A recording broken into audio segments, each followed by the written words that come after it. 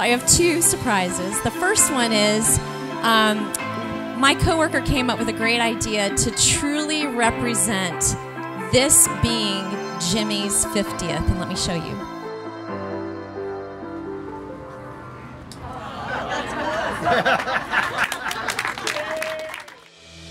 So this is very exciting. This is probably going to be the best Peachtree Road Race ever. A lot of us have been running it for years, but this year we're doing something very special. We're helping Jimmy run his 50th Peachtree Road Race, and Don's the, the little brainstorm behind this whole thing. And Don, tell us a little bit about Jimmy and why this is such a great way to honor his life. Oh my word. Okay. I won't cry. So I had a de- I had a dear friend named Jimmy Haddle, and Jimmy had ran 49 consecutive Peachtrees, and um, Jimmy um, he passed last um, July 17th, and so um, we all decided collectively we were going to run Jimmy's 50th. Um, whenever you would see our friend Jimmy, he had his he, loved his Peachtree shirt. So we're selling um, vintage Peachtree shirts. This is Jimmy's Peachtree shirt from 1977. And I have the honor of wearing 2007. And w- the way we bought them was we all made a donation to Loving Hands. So Jimmy's wife, um, she had collected all of Jimmy's old old shirts, and um, we decided, hey, why don't we sell the shirts um, as a fundraiser for Loving Hands? And that's actually where we're filming right now. And that was one of Jimmy's um, ministries that he was like near and dear to.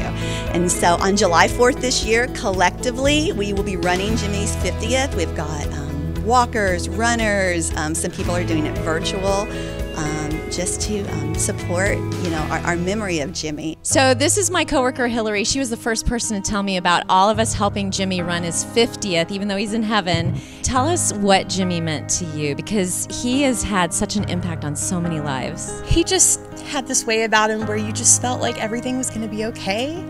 He really did almost always have on one of his Peachtree shirts. He just had this uh, love for Christ that was inside out. Like you just, when you were around him, he just had this like servant leadership sort of mindset, and he always made you feel like you were the most important person he was talking to in that moment. I am Pastor Roger Best of First United Methodist Church in Douglasville. At his funeral, I was just thinking about Jimmy and the 49 straight years of running the Peachtree. And the thought came to mind we ought to do something to honor number 50. It's wonderful to see this and to know that his heart continues in Douglasville. My name is Taylor from the Kevin and Taylor Show on 104.7 The Fish. I have two surprises. The first one is um, my coworker came up with a great idea to truly represent this being Jimmy's 50th. And let me show you.